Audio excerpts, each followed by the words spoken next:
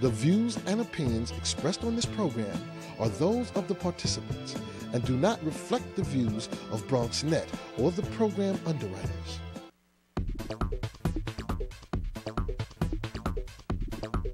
BronxNet. Your voice, your views, your vision.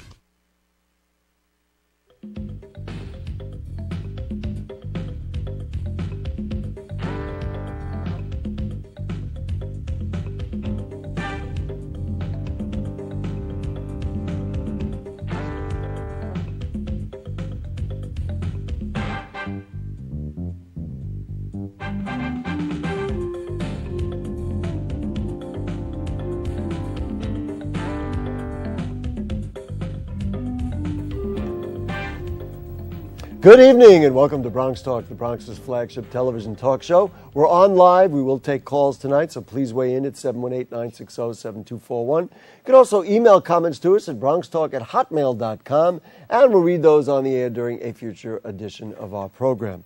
Well, over the years, we've had ongoing dialogue about what helps children learn and develop.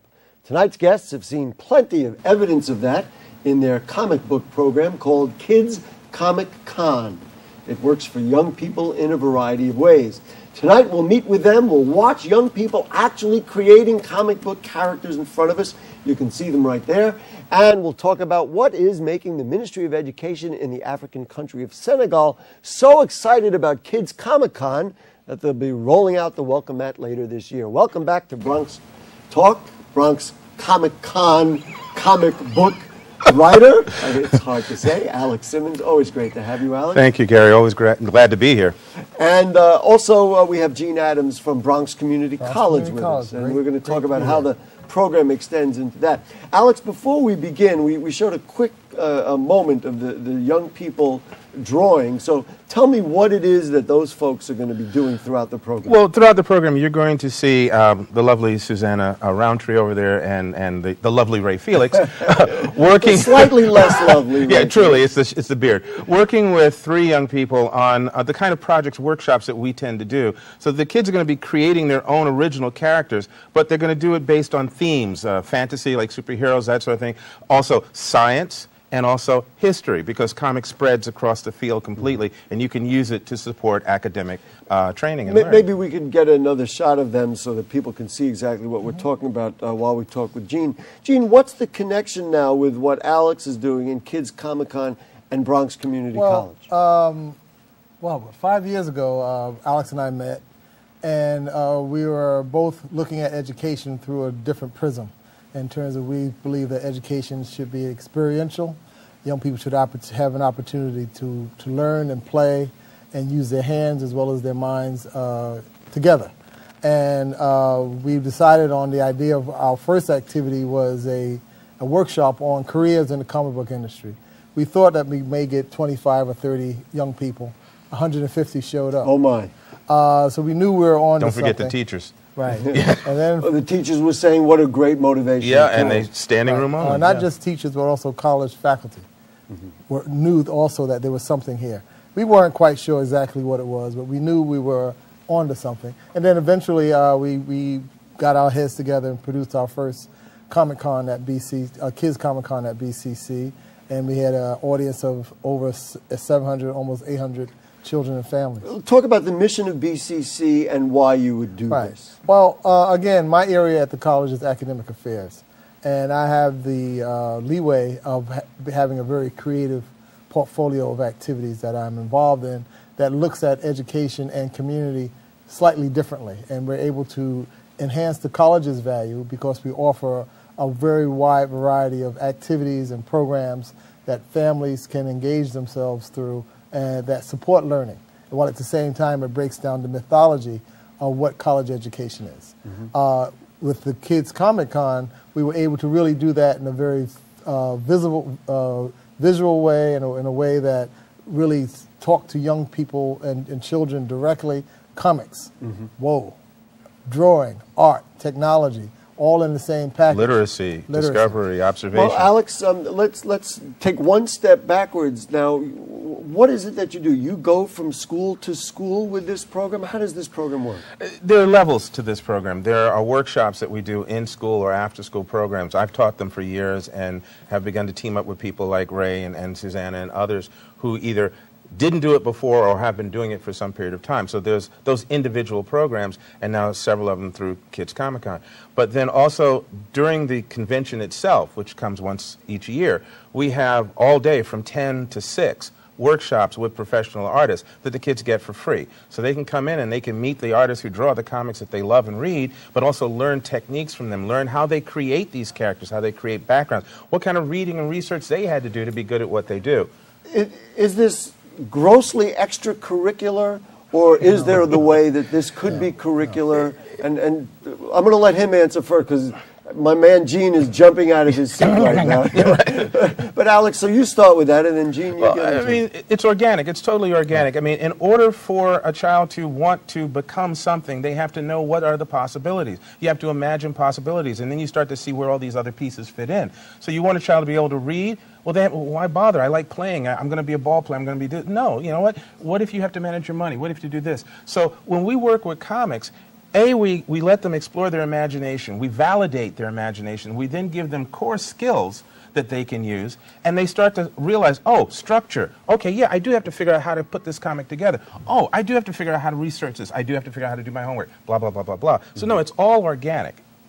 Uh, Gene, you you Real were going to respond. I mean, all the things that we talk about in, in, in education around critical thinking, about learning a, a process, about teamwork, about all those those qualities that we that we you know talk about. Kids have an opportunity to do them. We've also done a number of professional development activities with teachers to begin to work with them in terms of how to use this medium across across the curriculum. Mm-hmm. Well, this gets into the next question. and Again, I don't know which of you is best able to address that. Can you fit this into the existing curriculums, or is it really a shoehorn thing where you've got to convince uh, teachers, principals, and others that this can actually help children learn? A politically correct answer would be, of course. all right.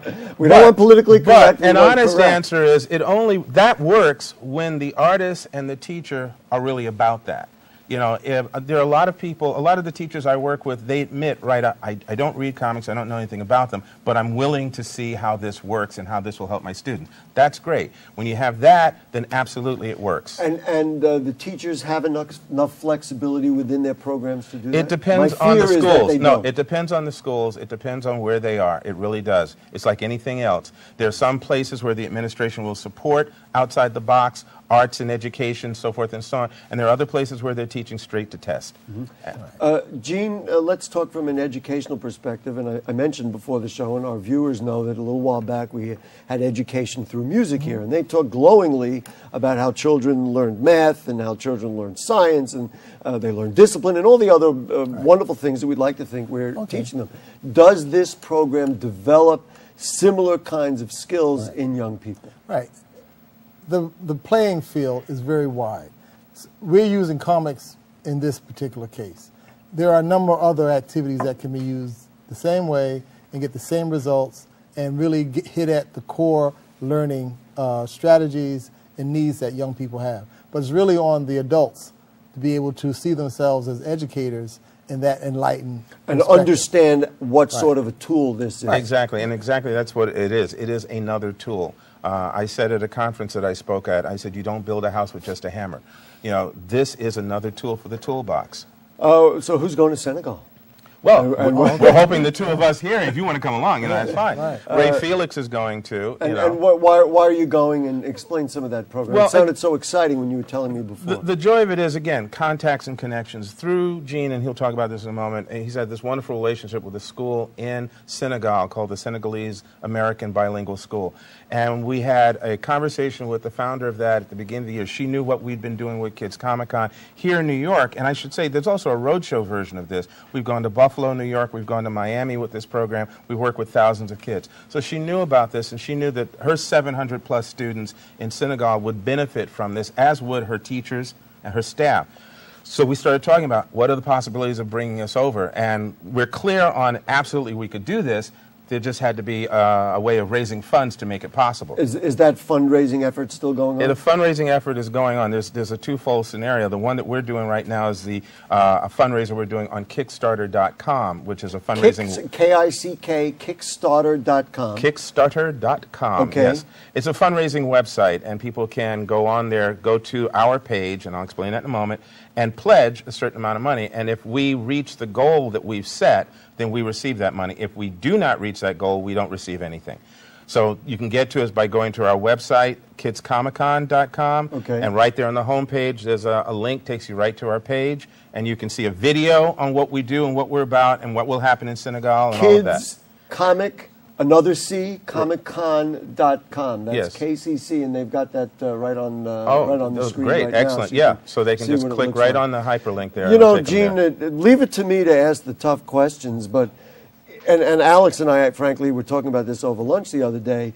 Uh, it's ironic that the Senegal picked up right away on the value of this, and yet you're still in the process of trying to sell this to the various powers that be here. Is that, is that an accurate Yeah, it is. I, I think, uh, well, the Senegalese American Bilingual School was started by a uh, American living abroad. Um, Where is she from, by the way? uh, from uh, Baltimore. Okay. And uh, I've worked with the school now for about 12 years, developing all types of projects where I've taken uh, groups of 20 or so uh, young people from here in the Bronx and, and, and Harlem there. So they're ahead of the curve. Um, let, us take another look over there at what um, uh, what the young people are doing.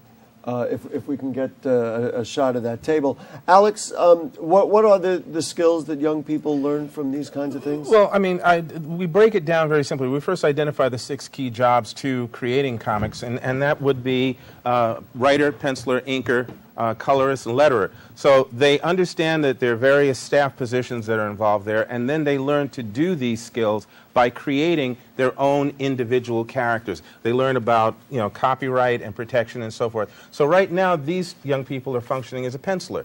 The writer in them has created a character. Sometimes an artist and illustrator will do that, but they've created a character. They have to think about not only the look of this character, but the background of this character. So right now do, they're do you doing have a lot to teach them um, how to be good artists? I mean, do you have to be a good artist? My no, I mean in terms of you know skill levels, you, know, you draw the way you draw. You know, each person has their own style. Each person has their own skill level. If they love doing this, they grow with it. But we don't measure them that way. We just want everyone to enjoy the creative And, process. and at what age does it work best? Or E- found even it works for a guy like you. Well, thank you very much, friend. We'll work with you later. But um, we've had, you know, we've worked with children in elementary school, middle school, high school, and college. So it works across the board. you, you brought us some nice things to show. What, what, what are we looking at? one of the things that Kids Comic Con will take to Senegal with us is um, our Color of Comics exhibition, which is uh, an exhibition that celebrates the diversity of characters of color in the comic book world, whether they were created by artists of color or not. So we have various examples, like here is a Native American character and an African American character in the West uh, from a series that was done by DC Comics.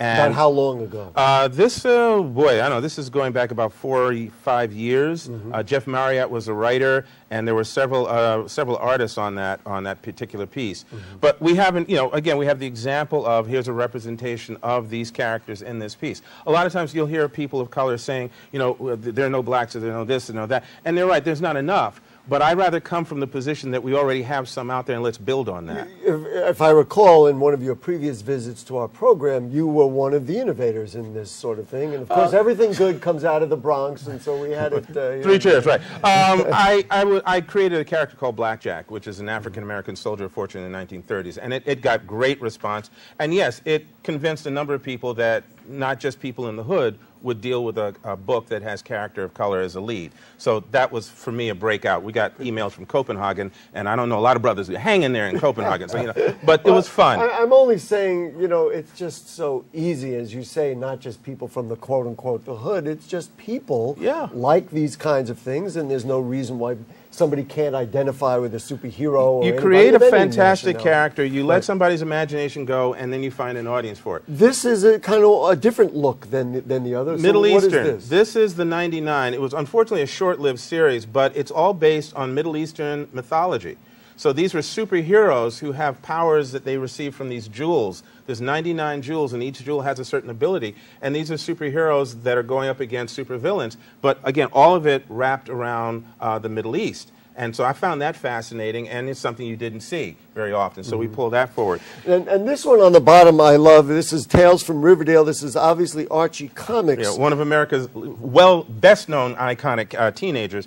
And this was when they introduced, this is Fernando Ruiz, uh, who introduced um, in this story uh, Raj, who is an East Indian character. So this was when uh, Archie, be- the series began to start bringing in more and, diversity. and about how long ago was that? uh, this, is, uh, this was 2008, if I remember right. And, and one of the artists of um, Archie Comics is with us tonight. Yes, that's- And- that's and so Susanna. Susanna's going to be, so we'll get a chance to talk with her. Right. Um, and of course, uh, I, I guess we should mention that uh, Archie Comics featured the Bronx Zoo a number of years ago, and we featured Well, they also the have a number of other things. We're doing a whole new series now with bringing a whole new slew of kids coming in with different backgrounds and ethnicities and so forth. So it's, it's really mixing it up now. It's becoming more intriguing.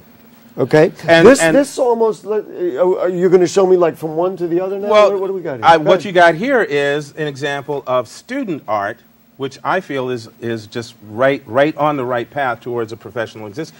This is a young lady um, who was one of my students Right. uh, for several years, and she not only her, her illustrative skills began to just blossom, and you can see where her imagination really took off, but she also incorporated the lettering in an art style that, that complemented the flow of lines in her illustration. This is a this is a wonderful piece, a wonderful uh, piece of artwork. How how old and what grade? Uh, she was uh, 18, 17. She was 17. So this is a high school. And how many years had she been with you? She'd been with Bo about three, four years. Three, four years, and this was really An afternoon, once a week, after school program. okay. Let's do this one. Same, same and then I student, go same students, just showing you uh, another page, you know, her storytelling ability and how her eye works and her graphic design. I mean, her focus is this little girl at this piano, and that's what your eye is pulled towards. And then I love this isolated piece here. But this is her starting to look at breaking the lines of the panel and so things that we had discussed. About how much direction did you have to give this person to get to this point? what I did was I gave her the freedom to explore.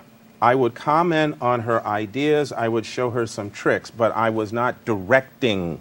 This is letting them grow. Okay? Okay. All right, I'm going to actually move over here with um, our uh, young people, and we're going to start here. Oh, wait, I got to grab the microphone. I've, I've ruined the whole staging of the whole show here. All right. Um, and I'm going to say hi to Ray Felix. Hi, Ray. How are you? Greetings. Ray, just a little bit about your background. Uh, well, I'm a comic book artist and I'm an art educator. I've been teaching for the Board of Education for 15 years. Do you, do you teach comic book art at, uh, for the Board of Education? yes, I teach both comic books and fine arts. And, and uh, in one school, or you go from school to school? I've gone to different schools, but right now I'm at Wings Academy in the Bronx. Mm-hmm. How does it work? I mean, is it working out well? Is- Well, basically, you want to get an introduction of what's the human head, the proportions of the head.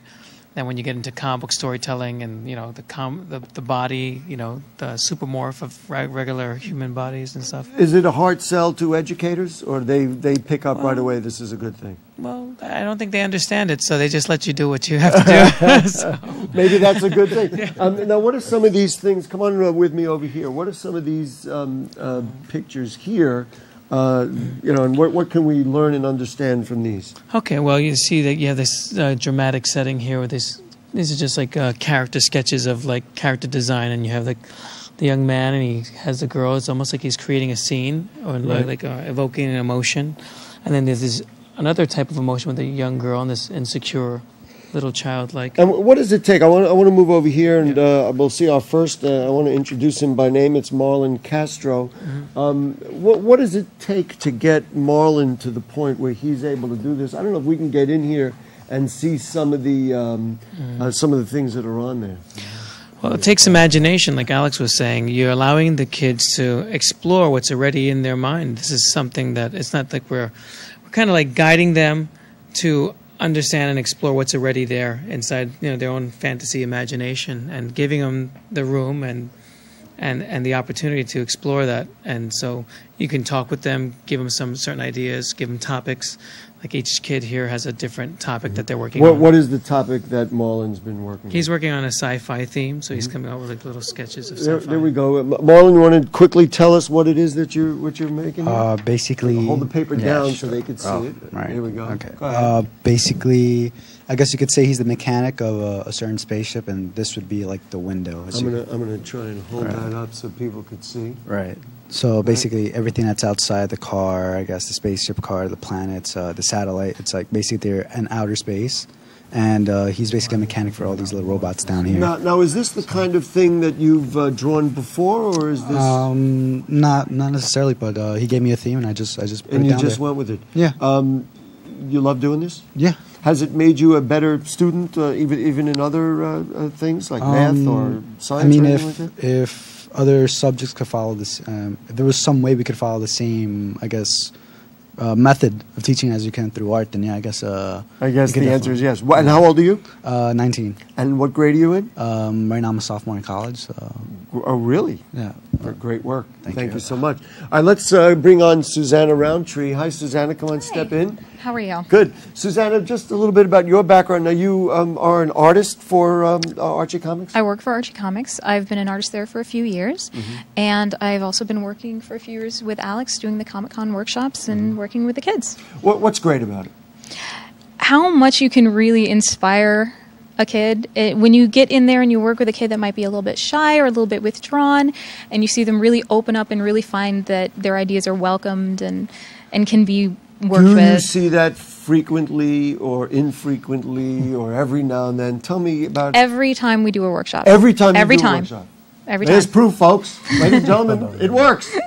Um, now, so now let's get in here. Jan Boy is uh, in here, and, and he's got a whole different thing going on. So- Now he is working with a more fantasy theme, and we just let him go nuts. And he, as he's not going nuts. May I take this for a second? let- Can we? He, You know, he won't let the paper. He won't let the paper go. Yeah, that's going to be on this camera here. this yeah. is an amazing tableau he's created. It could almost be a one-page comic strip gag of a dragon destroying an entire town because someone in this town tried to steal the eggs to make scrambled eggs for breakfast with. And and how uh, you know I want to ask the same questions I've asked some of the others. You can you can put that down. Thank you. Uh, How thank you so much, Jan Boy. How how difficult is it to get him to the point where, as you say, he goes nuts, where a young person will sit down and have the freedom and ability to do that? Well, in this case, we gave him a piece of paper and a pencil and said something in the fantasy theme, please, maybe a dragon, and this is what we got. So it, it wasn't uh, it It wasn't was very, it was very easy. Uh-huh. Uh, okay, now this young man here. Let's we're going to move down. Um, let's uh, let's see um, what you've got. This is Nicholas Fenderson. What does uh, Nicholas have here? Now, he's been working with a more historical theme, um, and perhaps maybe historically uh, based on literature than real history. He has a wizard that is bringing uh, the dead to life with lightning, almost in a Frankenstein manner. Now, did you tell him that this is what we were doing? Like, what did he say to you, and at what point did this storyline come about? Now, we worked together a little bit more closely on this one. because I know Thank that you got it. The young people, they just give me my paper. I got to draw something. We worked a little more closely on this one. He uh, was not quite sure what he wanted to do, so we went a few. He started working on like a wizard character, and then we talked together to decide what kind of powers he might have, but always with the idea of developing a, a reason for everything. No, mm-hmm. nothing just in there to make sense. Everything has to make sense. What what are the goals for these young people? In let's move toward the middle here. We can see some of the, the nice artwork here. What are, what are the goals? What do we expect that, that they will get out of this long term? Aside from some of the learning uh, and developmental things, I mean, are there jobs? Are there careers? Or is this just kind of a nice hobby? Well, it depends. Uh, for me, as a child who was interested in art, it clearly became a career, as I now do work in comic books. But it doesn't have to be something to that's going to be a career for you in order to be something that's going to bring you a lot of joy and give you a lot of options into other things. I think also uh, the notion of self-expression has to come Absolutely. For, for these young people, whatever they're, they're thinking about, what their fantasies are, they get to express them in some form. Um, what sort of guidance do you provide as far as a storyline? Or do you allow them to simply create the storyline? It depends on the individual need of each child. Some kids are ready to go with a complete story and an adventure, and I almost have to struggle to catch up. Other people are more want a little more guidance. It's you know each each individual is, brings something a little bit different to the table. Let, let me uh, come back to Ray over here. Um, Ray, in terms of um, what you uh, try to explain, even again to educators, Right. Um, what gets them excited about saying, you know what, we've got the pressures of having to achieve certain test scores? What gets them to say, you know what, this is really a good program? I think it's the results that they, you know, I think adults look at, and you know, the people in uh, Congress look at. They're like, they're like, oh, this we, teachers, principals. They love to see artwork. They love to see the kids creating. They love to see them doing proactive stuff and learning, you know, like skills. I mean, how to tell a story, how to lay out uh, a storyboard, how to communicate their ideas, how to actually take their drawing skill and develop that and. and Ab- about how many organizing young thoughts. people do you work with um, every day, every week, uh, throughout the whole? Well, well, last year, uh, last school year, I worked with 150, but I've worked as many as 276 in certain schools. So, but uh, Wings Academy is a smaller, a smaller school. Okay, we put uh, the website. Maybe Alex and Gene want to come here. We'll just uh, kind of wrap up the show uh, with everybody together here. Um, uh, Alex, if you come, come on into the, the shot here.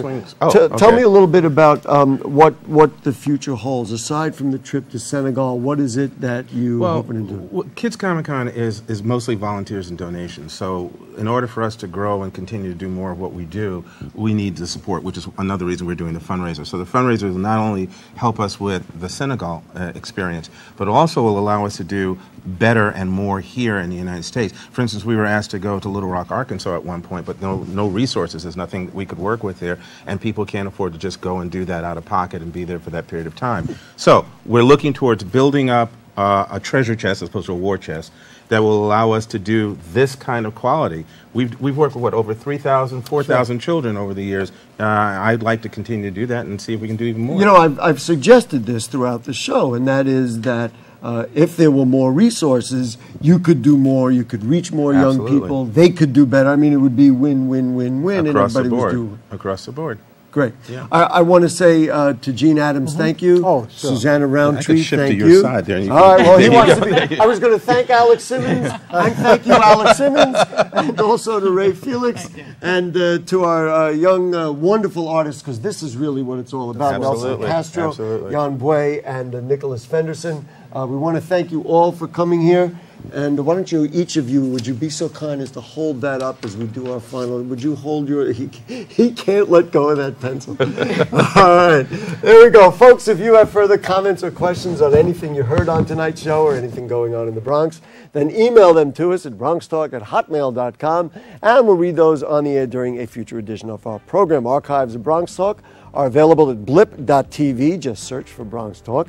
Now, it'll be politics, a lot different from this, on Bronx Talk for the next couple of weeks. Next Monday night on the 30th, we'll have the highly anticipated debate for the 33rd senatorial primary between Pedro Espada Jr., Gustavo Rivera, and Dan Padernacht. Then on Labor Day night, we'll have the debate in the 80th Assembly District between Naomi Rivera and Robert Giuffre.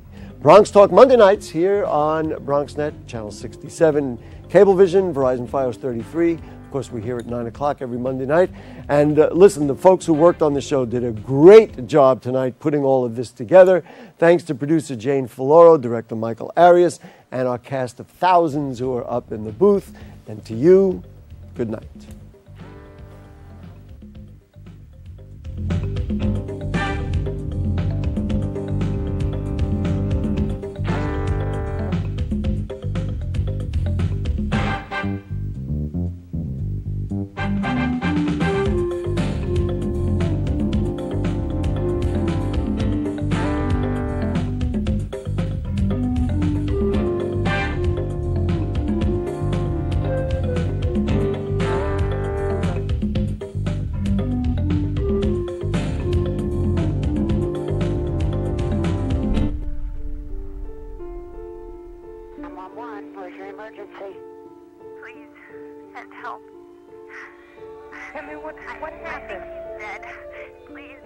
Shot. Okay, how? I mean, what's going on right now? I think he needs help. Send help.